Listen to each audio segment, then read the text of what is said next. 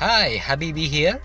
In this video, I'm going to share with you an HTML5 MP3 music player.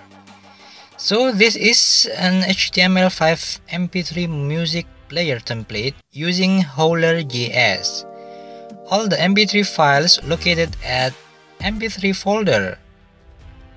And this MP3 player has basic functionalities such as simple playlist, to select and change current playing music, play and pause button, next and previous music selection button, and also seek bar or, or progress bar input.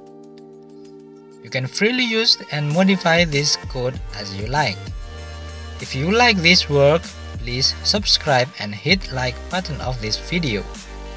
Find another free stuff I share on my YouTube channel. Thank you for watching and bye bye.